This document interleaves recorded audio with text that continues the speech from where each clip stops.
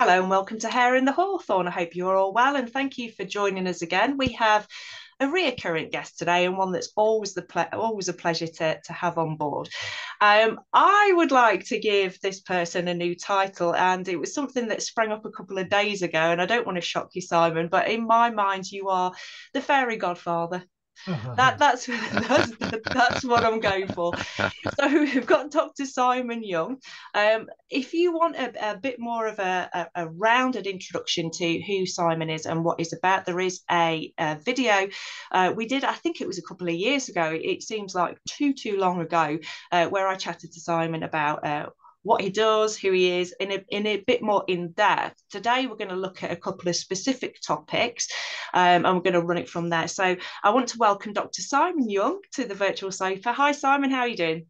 Great, thanks. Lovely, lovely to be back, and particularly to be back with Neil this time yeah, it's always lovely to have Neil on board. Yeah, that's right. Yeah, it's, it's, I don't know whether I'm the sidekick or Neil's the sidekick. I think we uh, we intra, you know, sort of traverse that one between us.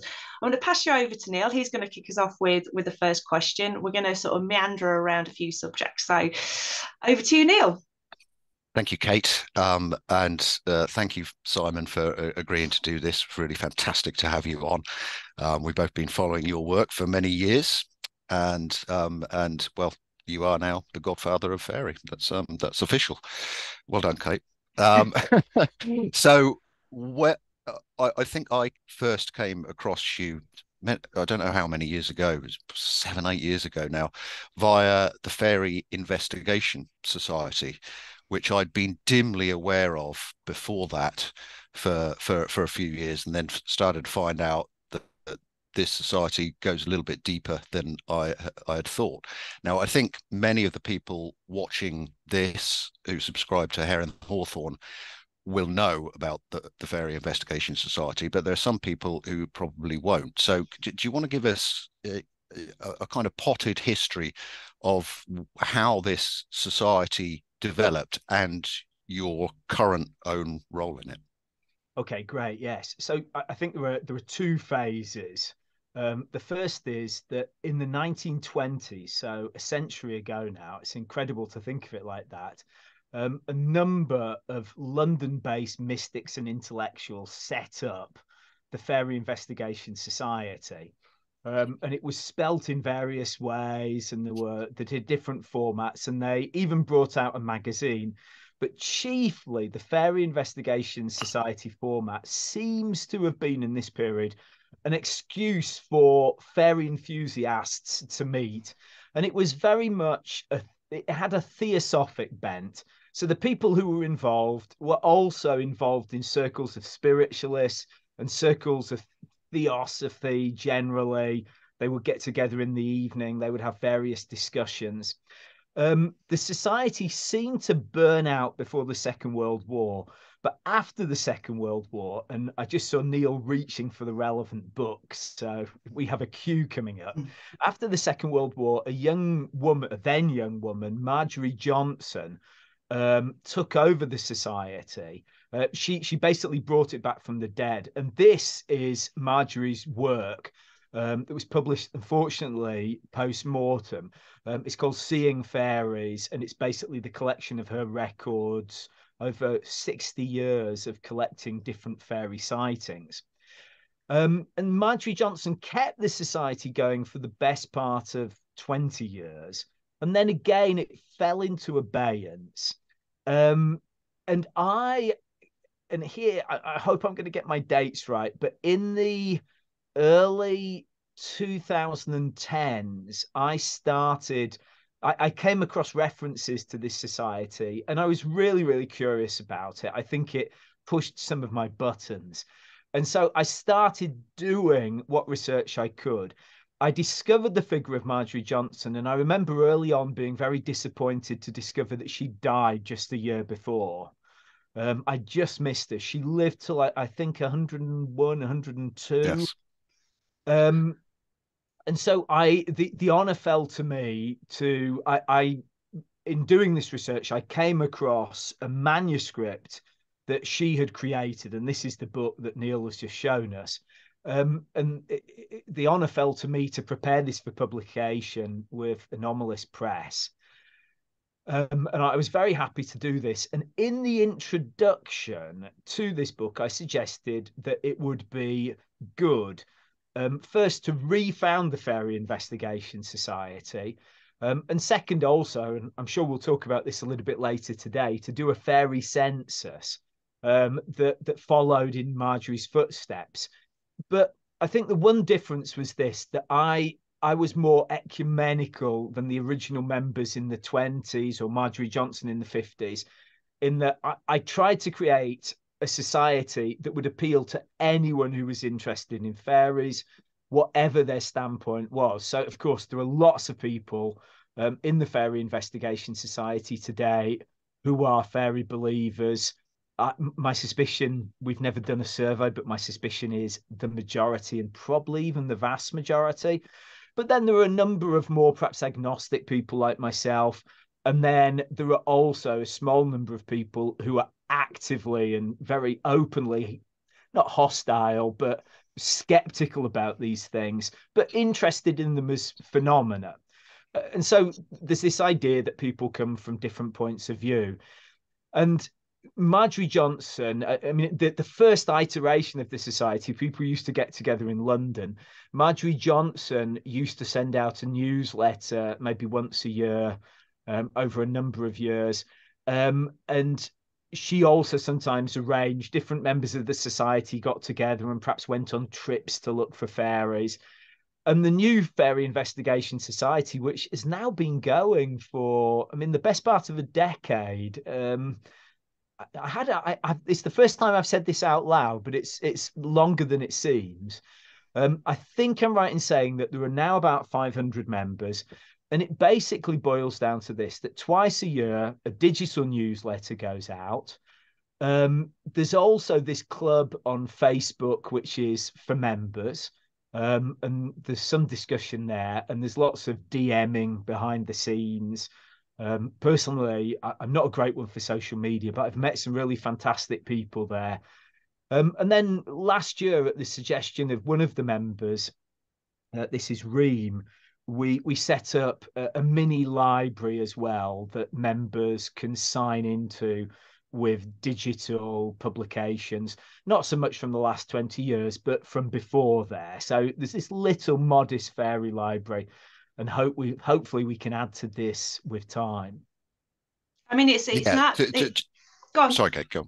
I was oh, just going to say it's it's a it's a uh, it's a wealth of knowledge to tap into. Just from my perspective, meeting people like Neil, uh, Joe Hickey Hall, and and other people that we've we've interviewed on here, that's all come out of the Fair Investigation Society, and we've also had suggestions for this program. But in terms of resources, um, you know, you have a question about uh, wanting a, a, specific on on fairy or folklore, and there is always somebody to sort of point you in in the right direction. So it may be, you know, a vast majority of people who believe in fairies, but I think the distinct difference is that people also have a good knowledge base of, yeah. of um, modern fairy folklore, if, if if nothing else. And I, and I find that that lovely about it. Well, really... should, before before before before you say anything more, Simon, we we should just say that everything is free. Yes. It's very. I, I know it's all very important to you that the eh, you know there's no membership fee. Um, anyone can join, um, and I think I think that's that's really important. I like I like that that that that that the, the the free nature of it, so as not to put any kind of barrier to to anyone who might be not be able to afford if, if you put a subscription fee on it. Is, is that something you purposely did? Uh, so this is something I, I just I'm a great fan of money. Don't get me wrong. I, I, I, struggle a lot of my life to get enough money, and but I, felt that this was something that bringing money into it would just muddy the waters in all kinds of ways. And for example, at the moment, I'm experimenting with the idea of actually publishing the the newsletter as a physical object too and there as well i've run into the question of of money and at the moment at least i think what i'll do is remember this will always be available free of charge to members but as a physical copy i think i will probably just put it up with a kind of a five pence profit or something like this. In other words, the absolute minimum possible on a print on demand platform. Um, and I have some regrets looking back, but this business about money is not one of them. I'm really, really happy um, about that. Um, I should also say, with Kate's comments, I, am really happy, Kate, with what you said there, because sometimes I feel rather guiltily that I, I have exactly that feeling that sometimes I want information, and so I ask a question. Um, and I can't think of many other places where I could get that range of knowledge. I mean, specifically about fairies, nowhere. So, but I'm really gratified that you feel that too. And so it's it's not just it's not just me. That's yeah. great. Uh, so we, we, you better tell, uh, you know, while while we're on the, the, that subject of the actual society, uh, if someone's watching this and wants to join, how do they do it? Right. So the thing to do is the gateway is just an email account, um, and this is Fairy Investigation Society at gmail.com.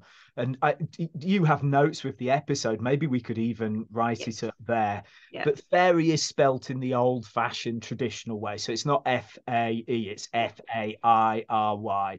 Fairy Investigation Society, all one word, at gmail.com.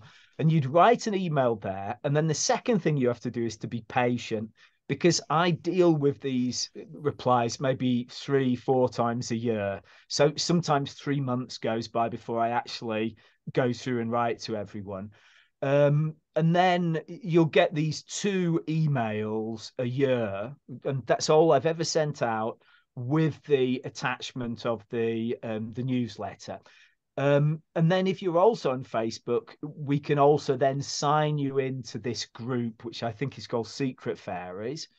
Um, and yeah, and then there's also this small library. So it's not going to be one of these things that changes your life, but it's another source of knowledge. Like Kate says, it's a way to perhaps meet people with interests across the spectrum that in one way or the other relate to your own.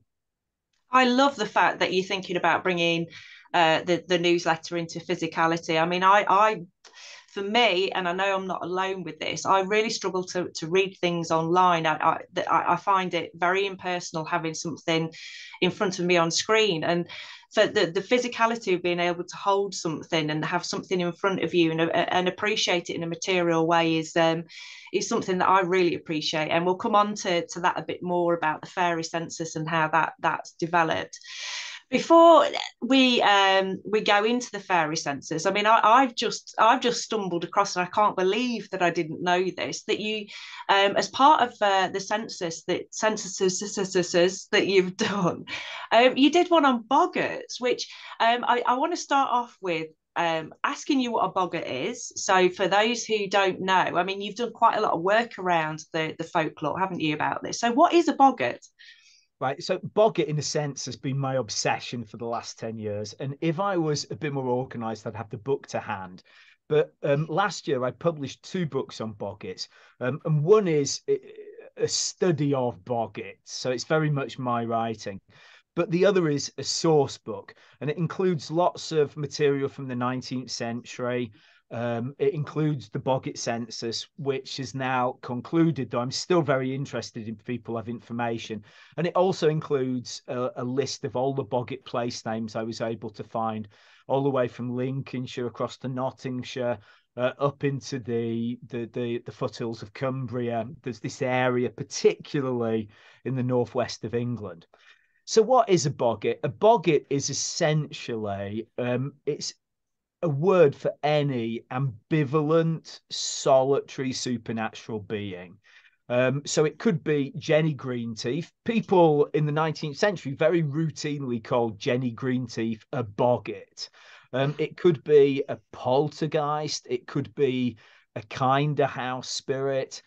It could be, let's see, um, a will o' the wisp. Um, the, the one supernatural group, and group is the operative word, that weren't called boggarts were fairies, but everything else on the dark side of the ledger um, were boggarts, and they were routinely called. And I, I always use this example that if someone in 1880 ran into a pub and said, "Oh my God, I've just seen a boggart," everyone would know this person that had had a scary experience, but they would have to ask more questions to understand what type of boggart. Um, and in this way, Katharine Briggs and others have done us something of a disservice because they communicated this idea that actually comes from children's literature that a boggart is a naughty house spirit and this this is part of the story but it's a tiny tiny part of the story um, it's the equivalent of saying I don't know that the Second World War was a, a, series of battles fought in North Africa. It was, but it was just so much more than that as well. Um, and yes, yeah, so I ran this Boggart census uh, when I was getting the book ready, and it really, I concentrated my fire on the northwest of England. That's perhaps why, Kate, you didn't come across it. Um, but Neil, I did actually get some references from Cheshire, your own backyard, at least at the moment. Um, and what what I was, it was different than the fairy census. We'll talk probably about the fairy census soon, but when I was doing the fairy census, I wanted people who'd seen or heard or somehow come into contact with fairies. Um, instead, with the Boggart census, I was interested in anyone who had grown up in a certain area and who had heard the word Boggart. So they would tell me what it meant. But I was also actually interested in people who'd grown up in that area um, before the 1970s and who could emphatically say they had not grown up with the word boggart. So there's also a lot of negatives in the survey, but there were about a thousand responses. I think there were 1,100 in the end. And what was really valuable was it was possible to put on a map and show where boggart had already died out by the 50s where it survived to the 70s and it, for me this was the biggest shock of the entire project the few places where it still survives today, where its old meaning still survives, and there are some of the more rural parts of Lancashire in the northwest, and also parts of the Derbyshire Peaks where the word survives to this day. And I, am getting goosebumps now just talking about this. But I remember reading these accounts and just being amazed that people were still using this vocabulary in the old way. Is there is there other names for the boggart? I mean, does that translate? Is it the boggle? Is it you know the goblin? Does it? Because I mean, obviously in the peaks, I'm not so far away from Peak District, and uh, you know, there's quite often Boggles Cave or Boggart's Cave, or you know, th- those kind of references. It is there other names? Yeah, there, there are. It's absolutely a, um, a reflex of dialect. So if you go to other parts of the north of England, you'll just find other phrases for the same thing. So there, there's a line I, I, I refer to Boggartdom as the area where boggarts were referred to. But if you go a bit further to the north, so if you leave what used to be called Lancashire across the sands, which is today southern Cumbria, if you leave the southern Cumbrian coast and head north, you get there into what I call bogledom. These are areas where people would refer to the Bogle. Um, and if you go right across, all the way across the borders, including the other side, so the Scottish lowlands, all the way down towards Lincolnshire on the other side, almost all that territory is Bogledom. It's territory where people with the exact same meaning, a solitary, ambivalent, supernatural being, would talk about bogle. So the guy would run into the pub and say, Oh my God, I've just seen a bogle. And everyone would say, What was it like? What happened? But there were also a couple of other words. Um, one word, that there used to be pre 1974 a county called Westmorland. And this has today been absorbed into the, the wreck of Lancashire, what's left of northern Lancashire. Um, and Westmorland, the word that was used was actually Doby. Um, so people would run into the pub and say, "Oh my God, I've just seen a Doby," or "a Doby's just chased me." And then I've never been able to get enough evidence for this. But I think that in parts of the North York Moor, the word that was routinely used was barguest. Now, barguest, we always read in the fairy dictionaries that barguest is the big black dog. And I think that in some places it was, but I think there's a part of the North Yorkshire moors where the sense of the word barguest was wider. It was this more generic sense. And it seems to coincide with an area where bogle and boggart wasn't used. So my suspicion is you could draw this dialect map of Northern England um, with Boggart, Bogle, um, Doby, Barguest, and then maybe in parts of the northeast the word Doby was used there as well. So it was used, that's for sure. But I've never quite understood the semantic range. Um, this is the northeast of England where I have much less um, experience with the sources. So, so, so not too complicated, but so those so those those regional differences in terms of the actual names and perhaps types of boggarts uh, do, do you think that is actually limited to British examples, or do you think there are equivalents? The first thing that comes to mind is like the Irish puka. So, do, is is there an equivalence there in in in that instance in in in the Irish tradition? So, look, this is an area where uh, over the past couple of years I've really got my hobby horse. So, excuse what's coming. Hmm. Um, I, I think that if you study the supernatural, the first thing you have to do in a given area is if there's enough documentation, you have to create a folk taxonomy. You have to understand the different terms that were used. And the problem is that the three of us, and I very, very much include myself in this, um, but I, I'm sure to some extent it's also true of you too. A lot of our knowledge comes from Katharine Briggs, the Fairy Dictionary, and similar works.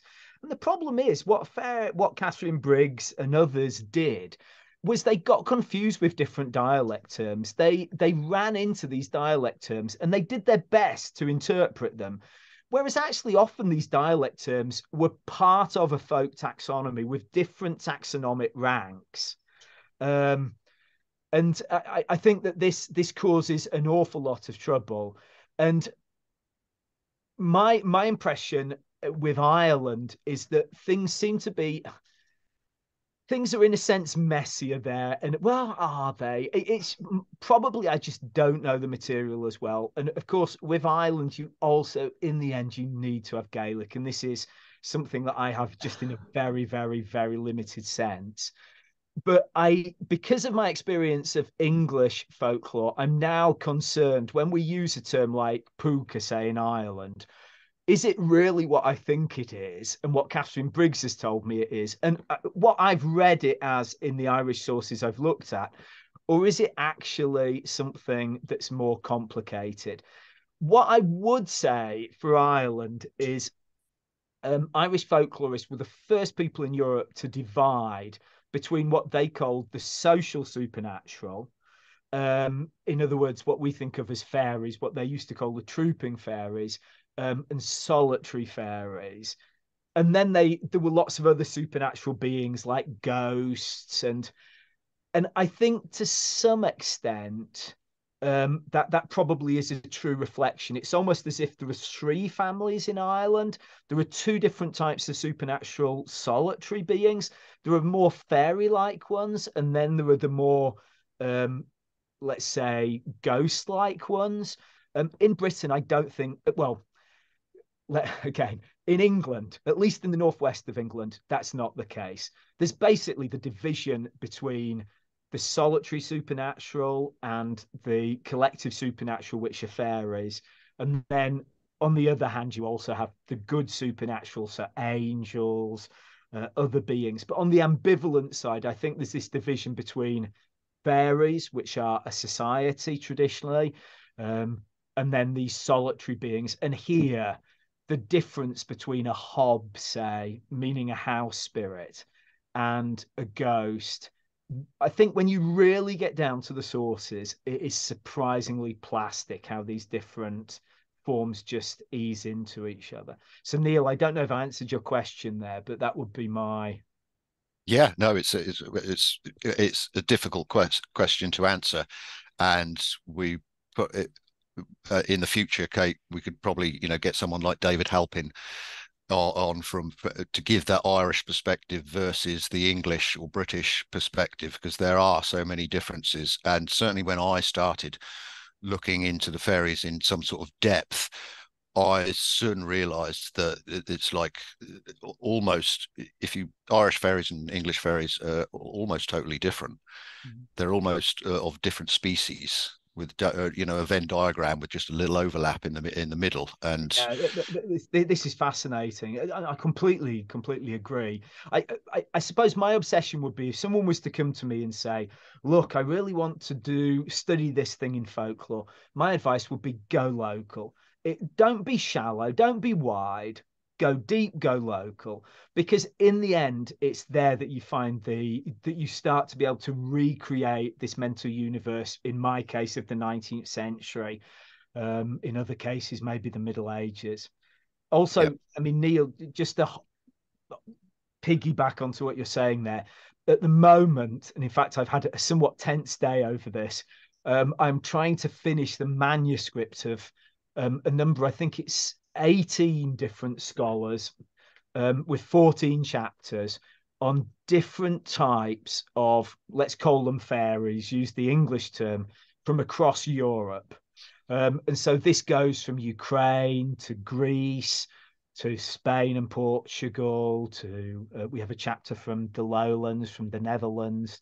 Um, lots of different chapters. There's a chapter from Scandinavia, one from Iceland, one from Ireland, one from the Isle of Man, um, one from one from England, and it's um, it, it really is striking how using that image of the Venn diagram. you know, there's probably more that divides these different fairy communities than there is that unites them. It's quite striking. Yeah, so I, you, I guess. Oh, so, sorry, Kate, go on. No, no, I was just, I was just about to say you, you, you mentioned the Isle of Man there, and going back to the, uh, the whole what is boggart in each area. Um, I, am assuming that that includes sort of apparitions and and and that kind of uh, paranormal activity. Um, I, you know, I have found out that uh, the Isle of Man they use the word spook or spooks to to include anything supernatural. So uh, I, I, would assume that that's their boggart. You know, that that that overriding, overarching terminology. Um, so in terms of how that um, overlays with with paranormal and haunting activity. What kind of activity can we see from the boggarts from uh, from the census? What kind of things what kind of things do they get up to? Look I, so my guess would be if you look at english examples all the way say from bedfordshire all the way up to the northwest i think you would find the range relatively similar. It's not completely and there are some interesting exceptions but what changes is the terminology and maybe also to some extent the way that the terms relate to each other how they do whether you have subcategories. I mean it makes it all sound impossibly dry like this but this was these were terms that were used by people who understood them and this was the way they processed the universe. Um, I, and as far as boggarts go i mean the first thing i would say with boggarts is not 99%, not even 90%, but 80% of the time when someone says, I saw a boggart, they mean a ghost. Right. And again and again, the word boggart is used to apply to ghosts. Now, as we know, um, the word ghost also covers um, a number of sins. I mean, there, there are lots of different types of ghosts as well. If you think of poltergeist, if you think of a white lady walking through the grounds, um, but the the dead or the unquiet dead is a very very big category of boggart um, and so there's a lot of there's a lot of different forms of ghost life and then perhaps there's also that fascinating form that, that pretty much disappears with the Great War, but which survives up until the very end of the 19th century. But the classic experience that you're walking through the night and you come face to face with something that perhaps shouldn't be there, say, um, uh, you know, a seven foot tall woman or something like this. And suddenly the woman changes into a luminous sheep.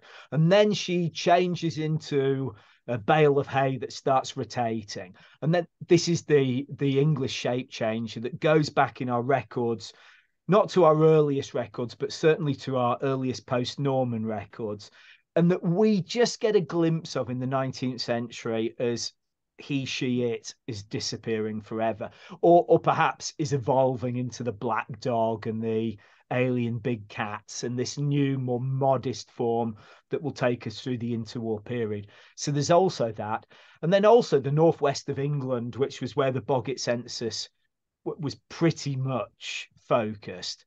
Um, you also get the examples of what I think of household helpers. Now, sometimes these are ghosts, but these are spirits, ghosts in the sense they're supposed to be spirits of someone who's died in the house.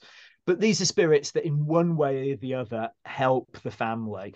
And sometimes they have rather, you know, tricksy, difficult relations with the family, um, but they at least claim to be on the family side.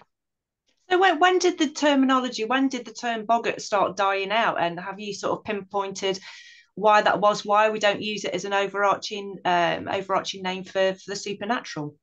Right. So the earliest records, just to give you the whole range, the earliest records we have to Boggart actually date back to the 1500s. And one of the things that always blows me away with the English supernatural, and I don't know Neil as a fellow historian if if he's had similar challenges to his historical prejudices, but as a historian, I go in expecting constant evolution and change. And I'm it's just my default, my expectation. And I am amazed when you look at supernatural records how things stay the same in the English countryside over centuries. Um, and you only get glimpses of it because there are fewer sources. But in as much as there are sources, you seem to just have the same supernatural system over centuries and centuries. And this starts to come apart, I suppose, in the 19th century. Um, in the late 19th century, there's a, a, period where dialect literature in the 19 in the northwest, particularly Yorkshire, the West Riding, Lancashire, even Westmorland, is very big. Um, and then that dies out by the very early 1900s. And I would say the worst period is that period from say 1900 to the Great War because dialect just gets forgiven the language but shafted in that period. It, it really becomes a mark of low status, low education, and boggit is a word which is very strongly inserted in in dialect. In other words, someone speaking standard English probably just wouldn't say boggit. They'd say, "Oh, I saw a ghost" or something else. And so you can, to some extent, thanks to the Boggart census, see where the word starts to die out in different areas. Um, and I split people who knew the word up into three groups. Um, I think the terms were um, a, a, Boggart rememberer, a Boggart knower, and a Boggart speaker. In other words, there were people who you said, What does Boggart mean? And they'd say, God, I haven't heard of that for years. But when I was a kid, and they had these fabulous memories of when the word was used, perhaps in a very striking moment. And it's interesting, there were about 10 people who remembered it in relation to horses going wild. Um, because you can imagine a six year old who sees a horse lose control. And in Northwestern dialect, that was take boggart. And so they remembered this. And then there were people who never used the word but they passively recognized it quite easily. It wasn't part of their vocabulary, their active vocabulary, but it was part of their passive vocabulary. Um, but they they very much knew what it was when it came along. And then there was this group that again just blew me away. That were people that were just, very routinely using it back in 2019, 2020 when I was really hammering away at this. Um, and I remember one woman writing to me from an office in Derbyshire saying, I, I used that word just now. Uh, you know, I, I, literally shouted at someone in the office that they're a boggart. Um, and another woman said, Yeah, I saw some idiot had done fly tipping down the road. And I said, That dirty boggart. Uh, part of the semantic range of boggart is this idea of people who um, don't behave by social norms, are often a little bit dirty outside the pale in one way or the other. Um, so I, I, think I guess that's the long answer. The short answer is Boggart died with dialect. We should yeah, bring it back, but, and we should bring it back as an insult as well. It's a it's a charming insult. It's, it's a and I'm gonna, insult. I'm going to start using that one. Now, well, uh, now, Kate, you're a boggart. Now stop it. So I, I, need I need to say something. um, I, I I'm really tempted, and I'm not I'm not going to push this I just want to mention it, and then we'll move on because we have other things to talk about. But I'm wondering if we can call um, UFO occupants and abduct, abduct, abductioners boggarts, the UFO bogarts. But we're not going to go down the UFO route. You'll be pleased to hear, Simon, because um, it, yeah, you, you don't, we don't, we don't need to do that because we don't have, have, have time. But what we definitely want to talk about is going back to the Fairy Investigation Society and the census, not the Boggart census, the census, which was, um, oh, let me get uh, 2014 to 2017. Fairy Investigation Society, yourself, carried out a survey and accumulated over 500 um, uh, reports of people's interactions with fairies. So, and and and as we'll come on to, there is a new census being produced at the moment. So let's let's go back to the the, the initiation of that census in 2014, or I guess before 2014. Why were you doing it?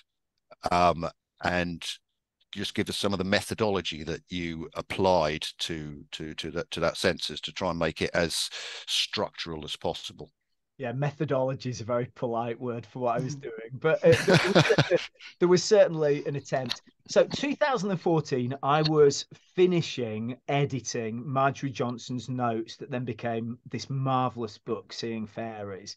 Um, and I was fascinated by the way that Marjorie Johnson was one of two people in the 20th century who had put together a selection of fairy sightings.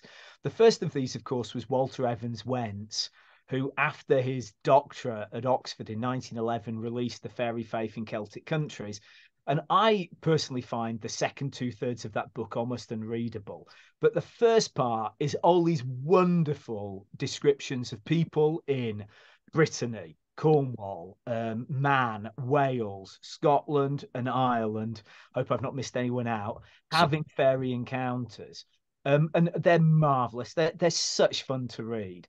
And then Marjorie Johnson from the 1930s, literally to the 1990s, her last, um, her last, um, I think, the latest rather entry in Seeing Fairies was one of her home helps um, who had a, an experience in her house that doesn't surprise me in the least.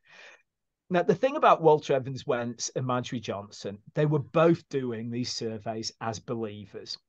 Um, Walter Evans Wentz, to the best of my knowledge, never saw fairies, though he desperately, desperately wanted to. There's a wonderful passage in the fairy faith where he camps outside the door to the world of fairy in the heights on a Scottish island, hoping that this door will open. And it's one of my favorite memories of Walter. Um, and then Marjorie Johnson was someone who did have a daily relationship with fairies. She saw fairies constantly. And but both of them from these different angles, they had an aim, and their aim was to prove the existence of fairies. Now, I, as I said before, I'm much more agnostic about these things. And so my aim, I thought, wouldn't it be great to do this? But instead of doing it focusing on the fairies, because as far as I'm concerned, you're never, it's like nailing jelly to the wall. It's just never going to work. Um, wouldn't it be great if I could do a survey that didn't focus on the fairies, but on the people who saw them? Um, and so this has always been the idea at the back of my mind. Now, this it it began at the same time as the start of the Fairy Investigation Society. And Neil, you're absolutely right to link it to the Fairy Investigation Society because in my early documentation, I said under the aegis of the Fairy Investigation Society. But the truth is, the census was always, I, I got advice on various points from people but it was very much my work. I, I, mean, I, I put the survey together. I used my judgment for good and for bad in creating the questions. Um, and uh, so often, my my American ally Chris Woodyard helped me a lot, particularly in the closing stages. But it was basically my work, and um, I I I ran through um, I, I, basically got as much publicity out as possible to get people who'd had fairy experiences to get in touch. And since then, a number of other people have done these kind of surveys but I, I I was the first of the modern surveys and since then various people we mentioned joe before have done it from different angles um, but my way was to do it in a very remote rather impersonal way that people would fill out this description of for instance um, how old were they when they did the survey what time of day roughly was it uh, do they have visual issues uh, one of my favorite questions do they always, regularly, or very rarely have supernatural experiences?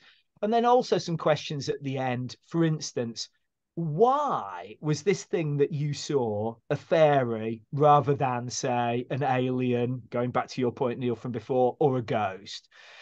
And so, using this, I was then able to put together 500 of these damn entries and I say damn because obviously I'm incredibly grateful to the people who brought these into being and were kind enough to send me accounts. But when I finally decided to put it together in book form, um, I thought it was going to take me a week, and it took me one of the hardest five or six weeks of my life.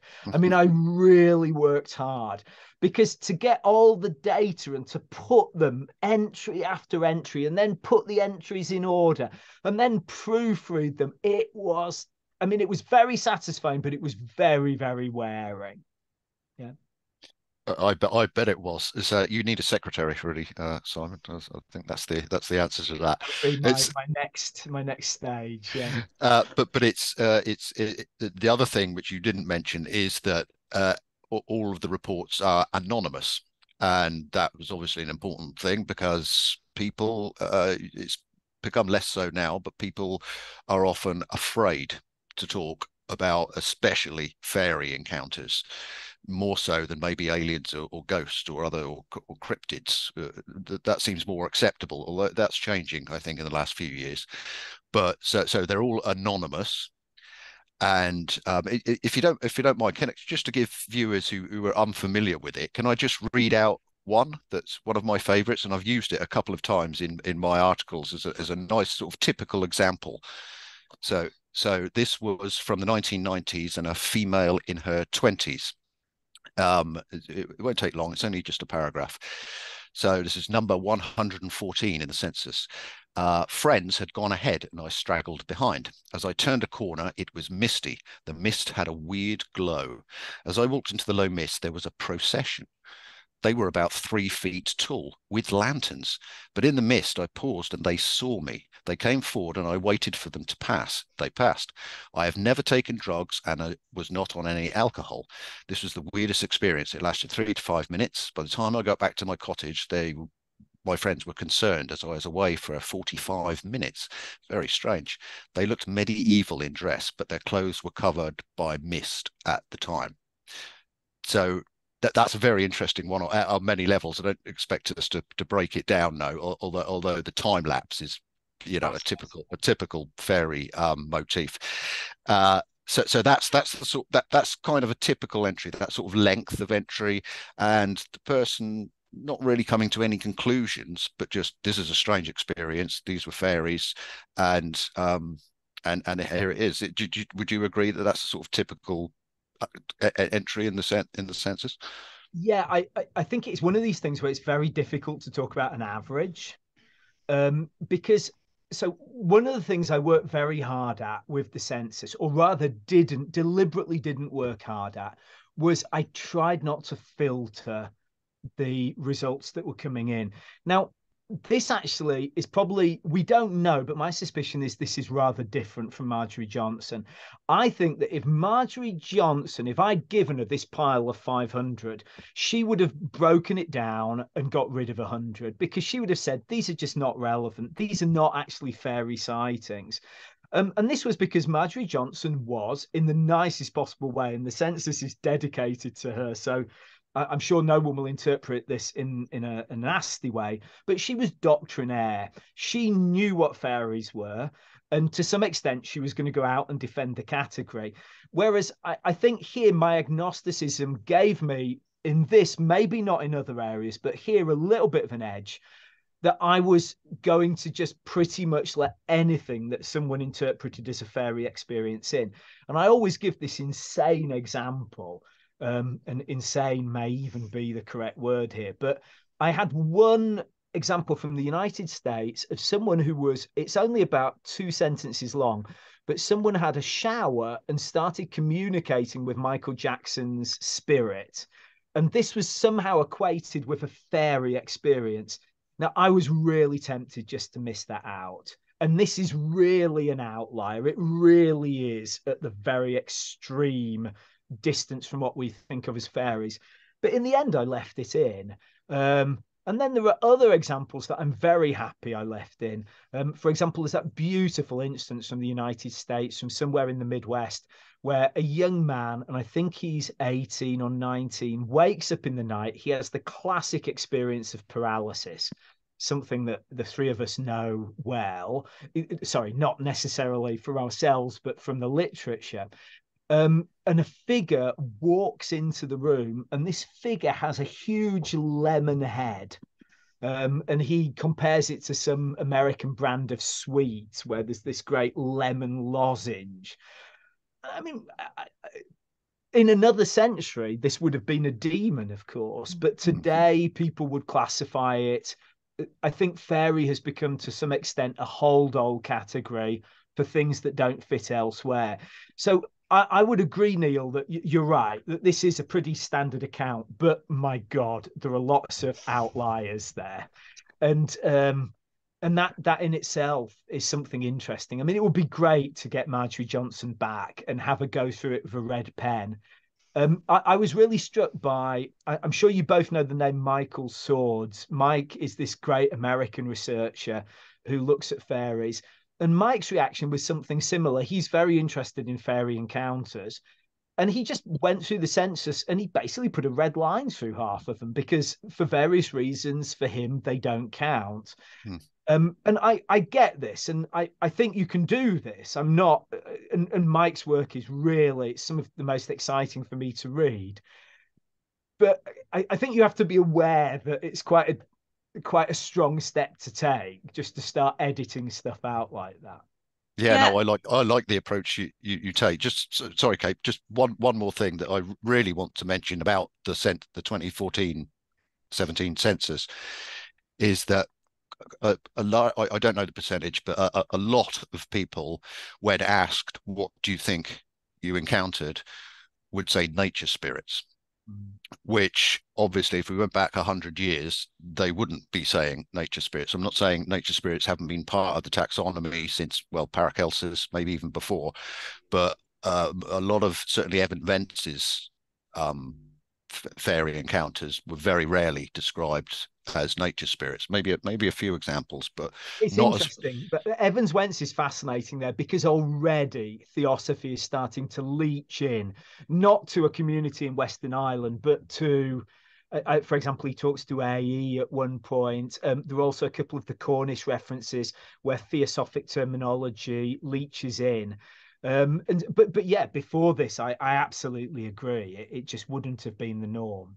Yeah. Whereas in this census, you know, a lot of people they're nature spirits. That's how they, especially when, obviously when they're encountering them out outside. So so so with the census, there's uh there's a new one happening, isn't there? Um, can I can I just interject there because I've, no, I've sorry, got, Kate. No, no, no, that's okay because I, I, I don't want to leapfrog off of that without saying, you know, for for for me that kind of the, the word fairy, and I think for a lot of people has become something that encompasses the other.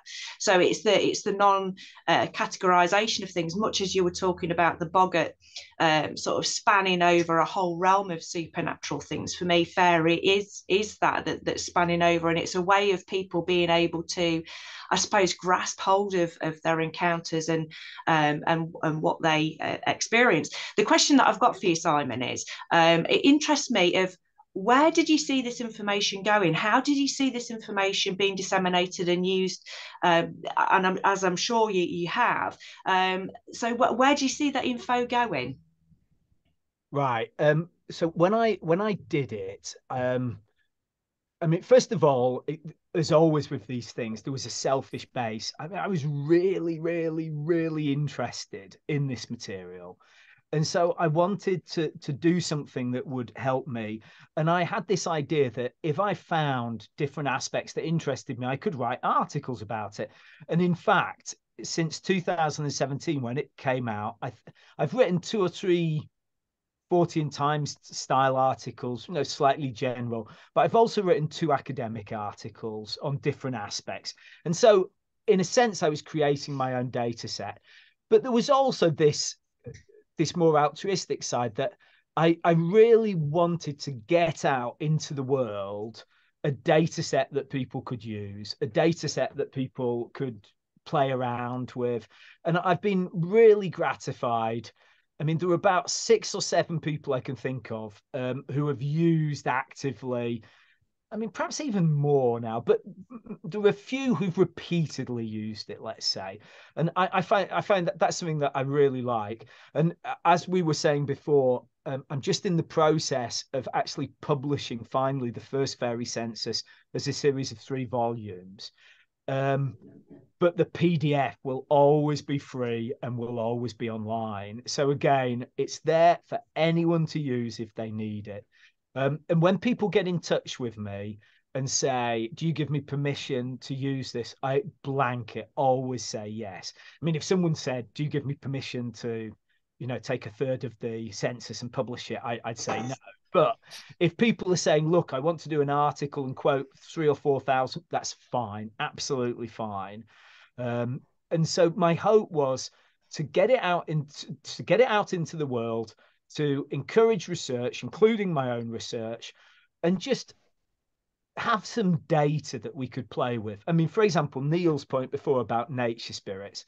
I think the three of us know this, but it's really useful to be able to do it empirically and to be able to say 260 people actually use the word nature in their account. Um, and so I, I wanted to bring science to the equation. Now, of course, there's there's always the illusion here that you can bring science to something like fairy lore, and of course you can't. But I think you can to some extent with the perceptions of people that have these experiences. So, Brilliant. so where, so where are we with the new? Where, what's how is it progressing with the new census or right. census number two? So I, I, knowing that I was going to talk to you guys today, I actually spent about an hour going through all the accounts I've got so far, and for the first time, I counted them. Now I did this in a bit of a spasticated way, and I may have got some things wrong, um, but I think that at the moment I'm at about 360. Okay, and for me, um, I, I, I I don't need to. So the first census was 500, but if I can get to 400, I will go ahead and publish the next census. And I'm confident that if I gave myself the summer, I'd get to 400. The the terrible sword of Damocles, which is hanging above me, is I remember how grim that period was. but going back, Neil, to your comment of you need a secretary, and it it's it's it's going to be several weeks, and it's going to be it's going to be wonderful, but at the same time, it's going to be dull, dull, dull, just going through. And then there's this moment at the end where you've got all of this material, you've got the data, and it's it's fantastic. Um, but I'm uh, I'm dreading that, and it's the kind of thing that God forbid that anything should go wrong, but if I have a big migraine in the autumn, I might put this off even till next year and try and go for 500. But I, I would be. I, I said last year that I hope to get it done in 2022 or 2023. I would actually be disappointed if there's not a new fairy census by the end of 2023, um, and that this will be um, 400. Um, and I hope very much to publish this from the get go um, as physical books. And probably if there are 400, there might be two volumes rather than three. Um, and then also publish it as a PDF. And my aim, just to go that step further, is when I go through my list of life goals with the fairy census, I want to get to 2000. That's that's where I'm going. So I like to think there will be fairy census one, two, then three, four, and probably five. And then I think I will stop. But if we continue, I mean, the first one took four.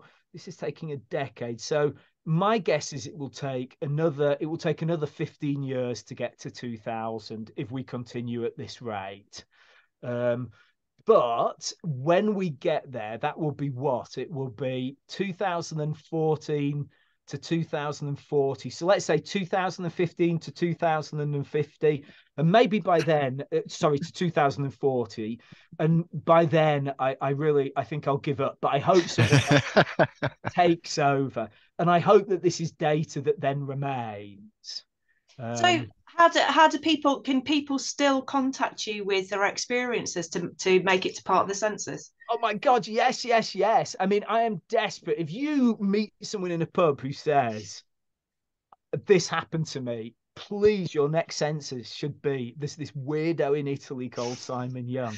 And then and what anyone who's listening, what I would say is just go to Google, type in the words fairy census and the first thing that will come up is my page on my fairy site, The Fairyist, and it will give you an option of either doing the survey as a first person account, or there's also actually a much less used survey where people have heard of you know, a friend of a friend. My sister had this experience, and people write it up in the third person. And then, if for whatever reason you're just sick of both of these approaches, just look for me online. It's very easy to do and write to me with your fairy experience. And in the first fairy census, I think there were 70 or 80 what I call C accounts where people had just sent me an email and I try and get the absolute basics, you know, that this is somewhere in America, that this was the 1970s, but it's really the absolute basics. Um, and so any of these approaches work. And again, if someone's watching this video in 2038, if I'm still alive, my suspicion is I'll still be going with this thing.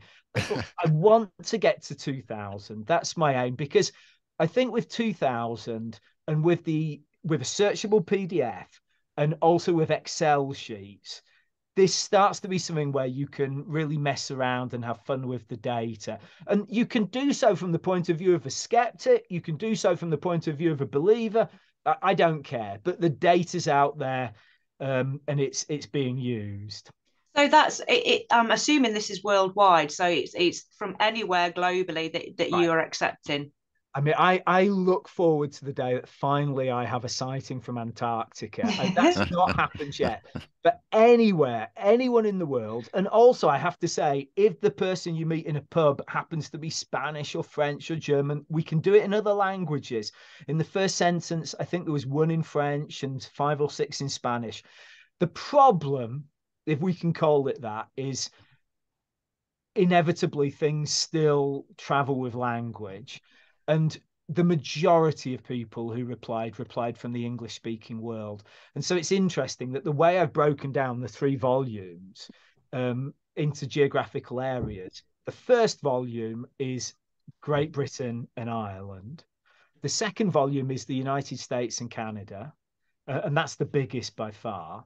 And then the third volume is Australia, well, no, Australasia, I think there's one from Fiji and several from New Zealand too. Um, Europe, in other words, continental Europe, and the rest of the world. There are a couple from South America. There are none from Africa in the first one. In the second census, I'm not quite mm. sure, but the same pattern repeats itself. These are mainly speaking people from the English speaking world. And I think that when I've done my peer reviewed articles on the fairy census, I've tried to make this into an advantage to say that look, actually, it is useful because we're we're drawing on one large anglophone cultural area. But in some ways, it's a little bit disappointing. So if you're a Portuguese speaker out there and you just get in touch with me, you write the email in Portuguese, I'll sort it out. Um, I'll, I'll get you in the survey. One of my favorites from the first census is an encounter in the Brazilian rainforest, which is absolutely haunting, um, terrifying. And so, so there's room for that as well. But realistically speaking, Kate, it tends to be people, yeah, from the English speaking world. Is that because um, when you put out, I know that you put out in Fortean Times uh, for people to to join in the census. Is that because it's not uh, not reaching out um, to, to to other countries? Have you been able to to sort of connect with other countries to reach out to other people? Yeah, I, I think it comes down to my lack of effort, and and and that in turn comes down to there only being so many hours in the yeah. day. I mean, I, I could work hard to try and get myself into Italian newspapers, into Spanish newspapers, or well, into social media in these areas. And if if I knowing that I was going to be on this podcast today and knowing that I was going to talk about the fairy census got me to thinking a bit about the future. I really do think I'll finish the second one um, in 2023. And I think there will be a push on my part to get as many new accounts in um, over the next months. And when that happens, maybe I could start experimenting with reaching out to people with Spanish social media, Portuguese social media, um, French social media. Um, and probably I won't do it on my own, but perhaps I'll ask allies to do it on my behalf. Um, Oh, definitely. My question was not a reflection on the hard work that you put in, Simon, at all. It's just no, but it, no, but it is a reflection. But no, but rightly so, in the sense that I I do lots of things in my life, and um, this is just five percent, and so in the end, um, I spend a lot more time in the end on folklore, and this the supernatural, the actual lived experience side is something rather small. And in the end, I have decided to limit myself. I mean, I could give myself to this completely. Mm. Maybe on some levels, Kate, I think that what I've done is enough to give people a sense. Mm-hmm. Um, and so that I don't need to that then I feel a bit less guilty about studying other things or you know spending some more time with my my kids or or what have you. Um, but it, it could be done better. No, I, I don't think you should feel guilty at all. I think that, uh, I mean, it's it's a massive body of, body of work, even to undertake just for uh, the British Isles. It's a massive body of work to to be able to to collate all that. Let alone the, I mean, having the you know the goal of having it global is just mind blowingly good. It, it's brilliant yeah yeah. And of course there you would really the term what you said before about fairy struck home that what do we mean by fairy today?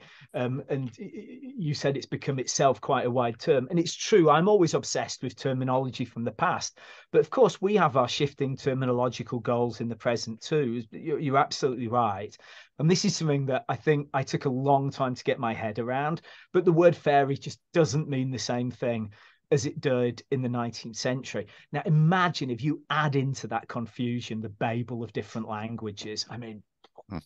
huge, absolutely huge. Can I, I can I ask one question? I know that Neil will be itching to ask, uh, you know, a ton of questions, but did the second census differ um, to the first census, uh, was, was there marked shifts in, in people's experiences or the kind of general flavour of it? It's too early to say. So what happens is people do the survey or they send me references and I very quickly look through them. So I do have a kind of general view. Um, but as far as actually really getting down to looking at it in detail, that will be when it's all in one document and I'm proofreading it. And I think then things will start to become evident.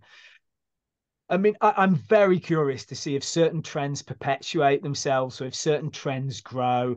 Um, for example, um, uh, uh um, uh, uh, um, I think mutual friend Mary in the Fairy Investigation Society, um, she identified that I hadn't really noticed, but these peculiar tree-like beings that are like Ents in Tolkien.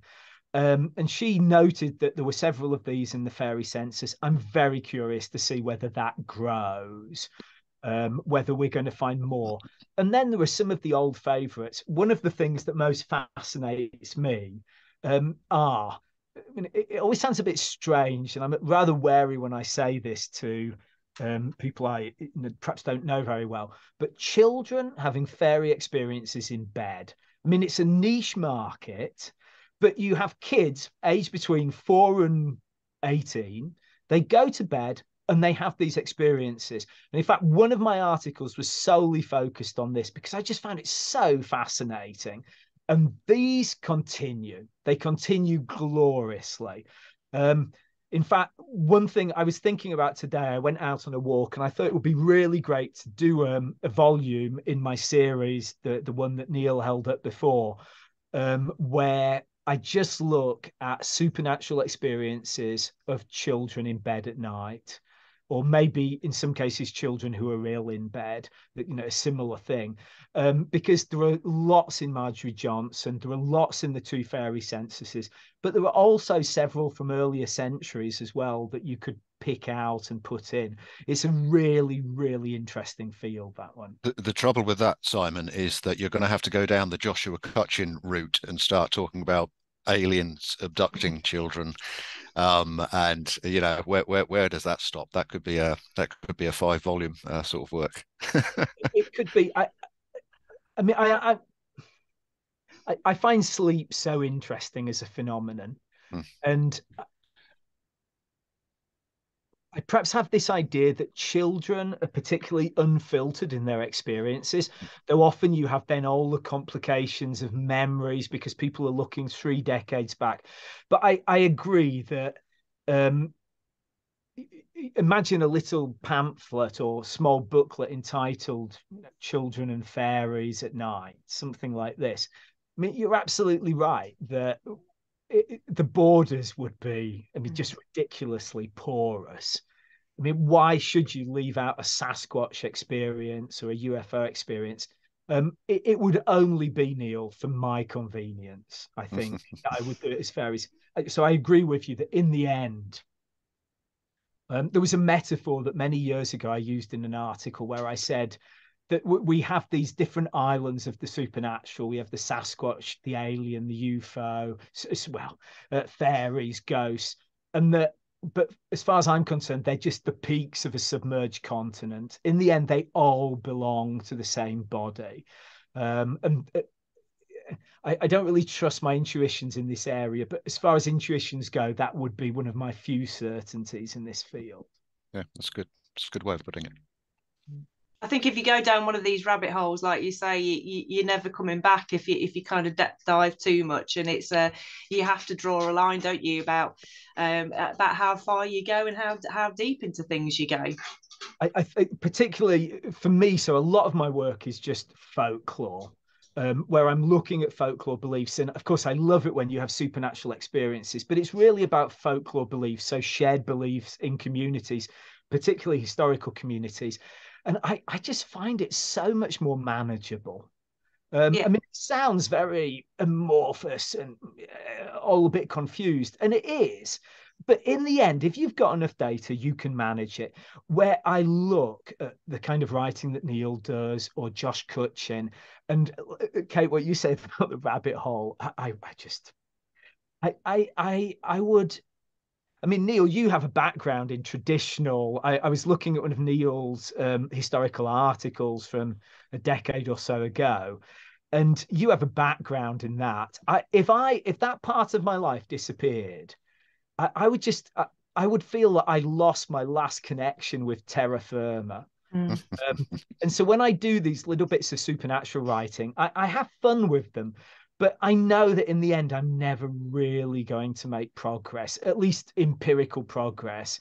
Um, and when so again, I really admire Josh's work, but I I just yeah, where does it end? It's mm. just you're you're walking into the mist and there's no way out. Mm. Um, and... I think that's one of the fantastic things about it for me that um, you know that the not only does the rabbit hole never end, but there is a series of interconnecting warrens that you can definitely get lost in, and it you know it, you do have to keep very very grounded about w- what your starting point is and what your purpose is for for for going down them because i mean the, there are massive bodies of work out there that the complexities of how they join join things up like josh's and um and other texts you know the mothman prophecies etc and you just think you know it's like where, where do you where do you end? But that in for me is the essence of fairies that that trickster that shifting that that um you know that feast that's never ever the same. It's it's it's all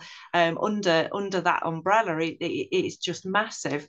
I think we're going to have to round it up a bit. I know that there was um obviously there's the the last push for the second of the the fairy census to to get people. And please if you're watching this don't think that that doesn't um you know include you that if if you've had an experience um, that that it's not worthy of going in a census. I think uh, Simon, Kate, what you've just said, the word "worthy" is really important. Um, all of this stuff is anonymous. Um, but for instance, there's someone in the first census who had, as we all have had in our lives, a really important dream where a fairy woman came to her, communicated this fact. Um, she woke up, she was a changed person that went in. I was really happy to put that in the census because for that person, that was a fairy experience. So don't downplay something. I, I love the word worthy. Everything's worthy. It is, and it's all about that joined up. And for me as well, reading the census, somebody who I, I, I do believe in fairies there you go um, and and reading other people's experiences is is uh, really comforting. And it's really um, i think for a lot of people who have anomalous experiences just hearing other people ha- you know say that's happened to me something very very similar it kind of makes you feel less mad in the world, you know, and, and less alone that there are other nutcases out there that have had these experiences. So for, for that, don't feel as though, like like Simon says, the, the, these things are anonymous. You, do, you don't have to give your name.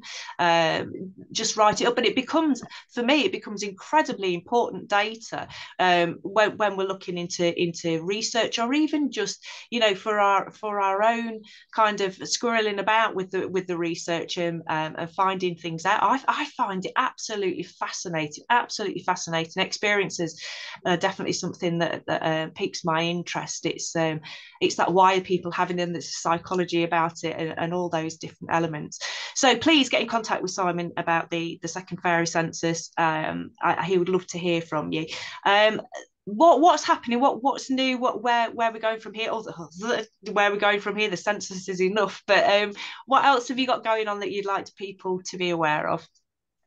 Well um I, I, I have started over the past few months this um well really the past two or three years um i started to try and create a tiny print on demand publishing house with folklore and supernatural texts. Um, and this is called Puka Press, so PWCA, um, and I've been giving some time to that. And I I use Amazon as a platform, and I've I found that between the three of us, a very frustrating experience. Amazon is um, um, it just drives me mad sometimes. I had a high blood pressure day with them yesterday. Um, but I hope to keep going. And my aim there, I have this series called the Fairies and Fairy Lore series. And what I want to do is get to about 100 of these books and pamphlets eventually. So different volumes of different areas of fairy lore. And I think at the moment, I'm I can't remember, but perhaps I'm at eight or something like this. But I've got all of the other ones waiting to go as long as um, Amazon doesn't become so frustrating. And then the other thing I've done that I found really exciting over the past year and a half, um, I mentioned before my dear American friend Chris Woodyard, who is this inspired uh, author who lives in Ohio um, and who's written a lot on the supernatural and is a specialist in, of all things, wardrobes and clothes and the supernatural there. She's a very, very interesting uh, person and we together for the last year and a half have done a podcast and this podcast is called boggart and banshee and the premise of this podcast was that i think that i was supposed to be a bit more skeptical and chris was supposed to be um, perhaps less skeptical and I, we do in the nicest possible way get on each other's nerves a bit with our views and so it's supposed to be a conversation where each month. We just do one a month. So it's a very modest thing. We look at one famous supernatural incident. So, for example, we did an episode on the Wollaton Gnomes. Um, I'm just thinking we've we what was our last one? We did one on late american witch cases. So we try and pick a fairly circumspect area and then talk about it. Um, and for me it's always a really exciting experience because I, I, it must be like this with you too but I feel that me and Chris, we we we complement each other's gaps. And by the end of the conversation, I really feel that I've learned something. In other words, we do it as a podcast, but actually just for purely selfish reasons. I look forward because I don't think I've ever sat down to do a podcast with her where I've not left knowing more than when I started. Um, and so that that's been something. Anyway, it's called Boggart and Banshee, and we send out a new episode on the first of every month. Brilliant, absolutely brilliant. I think. Well, Neil, have you got anything you you want to add? Anything that you want to sort of slip in there? Well, no, I, I, think we are out of time, aren't we? But uh, just you know, thank you so much for your time, Simon, and your great depth of knowledge. And uh, as, as I know, we say this on almost every time we talk to someone, but you know, we have scratched the surface of some of these subjects, and you could go on for hour after hour. But um, uh, I, I, I'm sure you wouldn't appreciate that tonight. So, so, so, my final word is just say thank you so much, Simon. And maybe maybe we can make a half appointment in a year's time when hopefully the second fairy census will have been out for three or four months. You guys will have had time to read it and digest it. Um, i'll be buzzing with ideas about what i found particularly kate's point about are we seeing certain trends grow? Are other ones withering away um, so maybe in a year we'll have a chance um, to visit again as the brilliant yeah, that's brilliant. Thank you so much, Simon. It's always a pleasure to have you on board and, and chat through uh, what's going off. And, and thank you very much to the fairy godfather. Mm-hmm. we'll see you soon.